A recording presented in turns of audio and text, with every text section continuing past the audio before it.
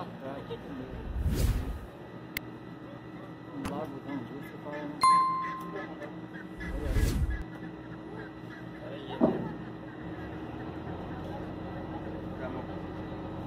Vai por onde? Barquinho pequeno agora é só.